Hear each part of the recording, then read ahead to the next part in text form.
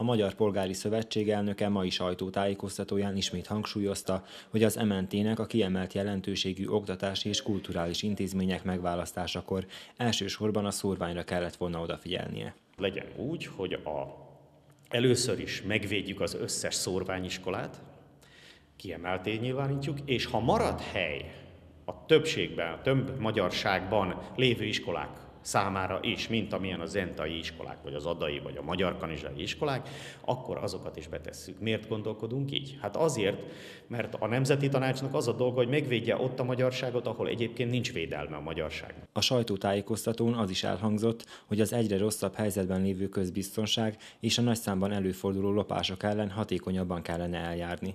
Az MPS támogatja az ezzel kapcsolatos törvénymódosítási javaslatot.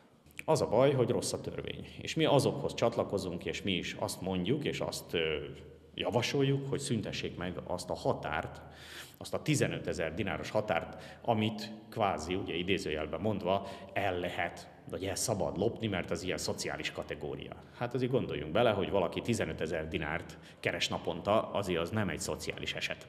Az entai mezőőrség szorosan együttműködik a rendőrséggel, de még így is nagy számban történnek lopások. A tolvajok főleg fát, terményeket és színes filmeket tulajdonítanak el.